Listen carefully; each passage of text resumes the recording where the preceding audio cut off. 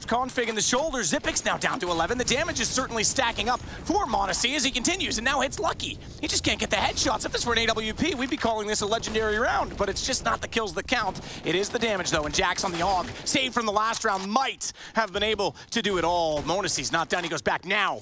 His early damage matters. He only needs the single shots, and they'll put k0nfig on the scout instead to watch over toward Long huNter-.